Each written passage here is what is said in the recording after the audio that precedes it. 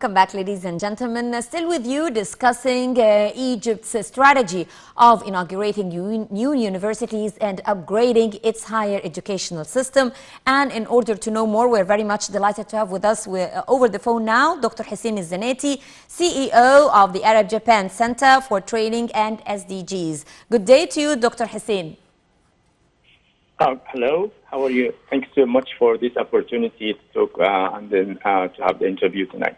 Hello, Dr. Hussein. It's always a pleasure uh, to be with you here on Nile TV International. And uh, you, as a prominent educational expert, how do you see Egypt's new strategy of uh, converting into a new, era of uh, the higher educational system, inaugurating a huge number of uh, universities here in Egypt, all over the country, in various uh, districts and various areas and various cities here in Egypt? How do you see that? Yeah, um, first of all, we uh, I think we should consider the development challenges that we are facing now, uh, such as the rapid increase of the Egyptian population, education ref- reformation, um, the human resource capacity building, and infrastructures in our society. Um, it is predicted that the population is um, one of the major challenges that uh, which is expected to reach one, 100, uh, 125 million by the year of uh, 2032. And this is a huge challenge um, that we all Egyptians should uh, pay attention to the expected gap between the population and the community development in all aspects. Um, we also should strive hard to uh, work on the scientific foundation to avoid any gap during the de- development. Yes. Uh, so I would I would like to cite this opportunity and to highlight the effort of His Excellency uh, President Abdel Fattah al-Sisi to bridge uh, this current gap between the population and the universities. Um, now we can see the government is taking serious action to have a total of 100, 125 university in 2032. I think so.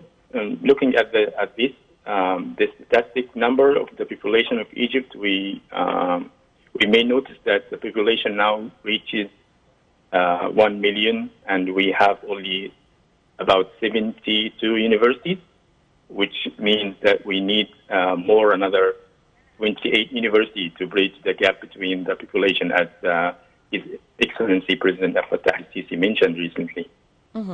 Uh, Dr. Zanaty, yes. yeah. Uh, yes, go ahead, please, sir. Um, so I, I see that um, His Excellency President Abdel al-Sisi and the government are are moving at uh, record speed to achieve the high standard of the priority of the educational development in basic education and also in higher education.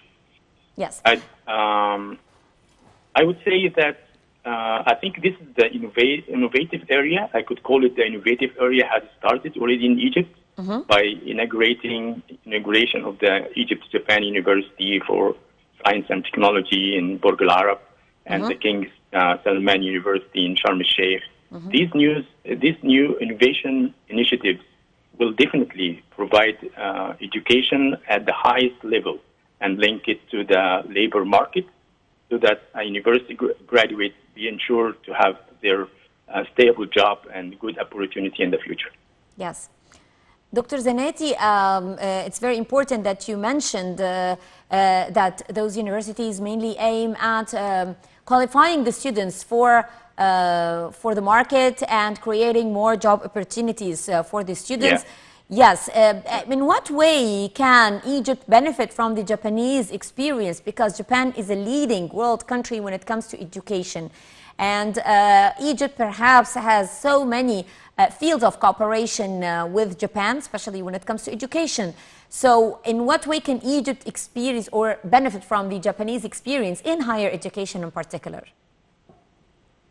Yeah, I, I think the uh, the cooperation with the Japanese um, higher education, such as the um, the uh, the cooperation between the uh, Egyptian Egyptian universities and also the uh, e- Japan or Egypt Japan uh, Scientific and Technology University in Burj Al Arab.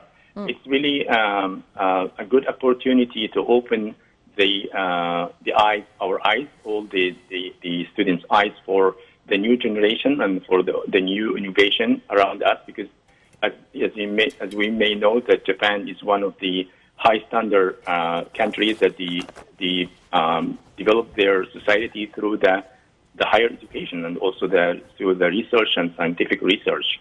So we may take the opportunity to learn from the the uh, from the Japanese side that it already exists in Egypt now, not only for the higher education, it already exists in the basic education through the Minister of Education now and the, the huge project which is taking place now between the Egyptian government and Japanese government for the Japanese Egyptian schools.